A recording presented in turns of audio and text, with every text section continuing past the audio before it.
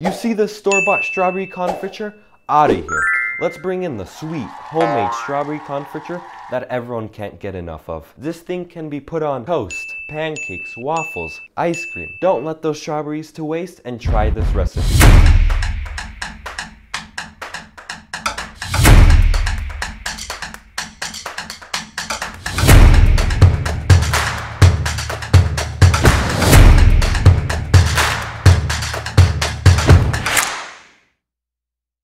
Hello everyone, welcome back or to the Polish American Kitchen.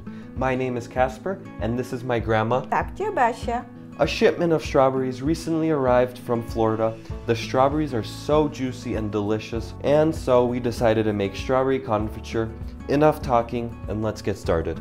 The three ingredients you will need in this recipe are 2 kilograms of strawberries, rather small ones, 2 kg raczej mniejszych truskawek, one and a half kilograms of sugar, 1,5 kg cukru, lemon juice from two lemons, sok z dwóch cytryn.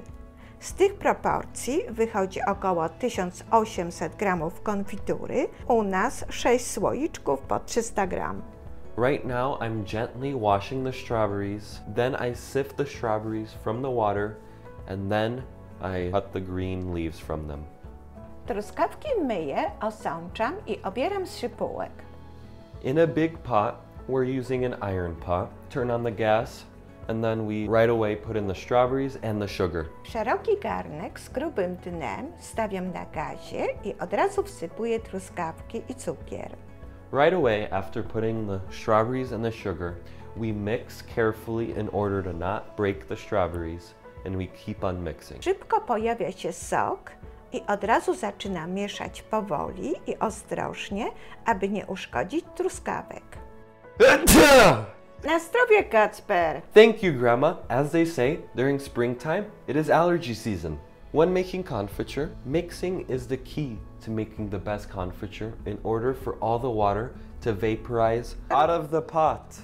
Mieszanie jest tutaj kluczowe, najważniejsze, które powoduje szybsze odparowywanie wody. Cook on medium heat for 5 to 10 minutes and mix the whole time while doing so, and never let the confiture boil. Podgrzewam garnek z truskawkami około 5-10 minut, nie doprowadzając do zagotowania. Cały czas jednak mieszam ostrożnie, aby truskawki pozostały całe. Turn off the gas and mix until the confiture stops steaming. This probably will take around 10 minutes, but leave the pot to sit without no heat for 30 minutes. Potem odstawiam garnek z gazu na około 30 minut. Nadal mieszam, dopóki truskawki w syropie parują. Repeat this process up to like 10, 20 times. Yes, it'll take the whole day. But repeat this process until you have the consistency of what you'd like. Po 30 minutach garnek ponownie umieszczam na gazie i smażę truskawki około 5-10 minut, nie doprowadzając oczywiście do zagotowania. Zdejmuję garnek z gazu do wystudzenia na kolejne 30 minut. Pamiętamy o tym, aby jeszcze potem mieszać, dopóki widzimy parę.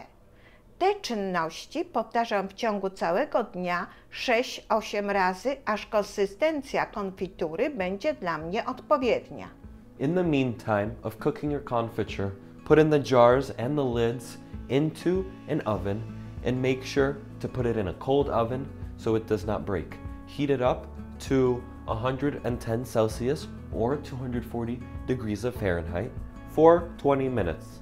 W międzyczasie, kiedy robię konfiturę, podgrzewam w piekarniku czyste słoiki i zakrętki w temperaturze około 110 stopni Celsjusza, to jest 240 Fahrenheita, przez około 20 minut. Słoiczki wkładam do zimnego piekarnika i liczę czas podgrzewania od momentu, kiedy piekarnik osiągnie wymaganą temperaturę, to jest 110-120 stopni Celsjusza lub 240 Fahrenheita. Once you think your confiture is dense, we will do the frozen plate test. Put your plate into the freezer until it is frozen, then take it out of the freezer and put on the confiture. And if the confiture spreads to the sides, then that means it is not ready. But if it doesn't spread to the sides and it hardens, then it is ready. Sprawdzam gęstość konfitury metodą zimnego talerzyka. Na zamrożony talerzyk w lodówce wylewam trochę gorącej konfitury.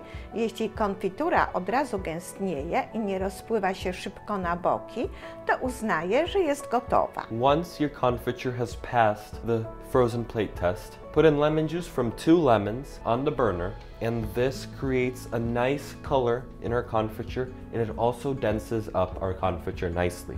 Wtedy dolewam sok z dwóch cytryn, który nie tylko doda lepszego smaku, ale konfiturę dodatkowo zagęści i utrwali ładny kolor. Ponownie podgrzewam konfiturę, często mieszając.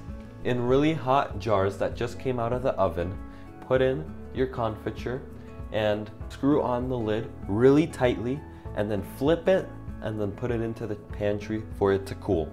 Wlewam do czystych, wyparzonych, gorących słoiczków, zakręcam mocno wieczka i odwracam do góry spodem na blacie do całkowitego wystudzenia.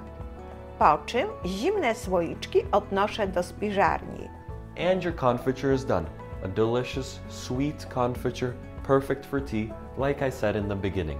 Konfitura jest idealna do naleśników, gofrów, lodów i innych deserów, a w zimowe wieczory dodana do gorącej herbaty nie tylko smakuje wyśmienicie, ale również działa odstraszająco na wszelkie przeziębienia, a aromat przypomina smak świeżych truskawek gorącego lata. Oh, yes, I can clarify this. It is perfect in the winter, and it is the most amazing tea you can have in the morning. Thank you.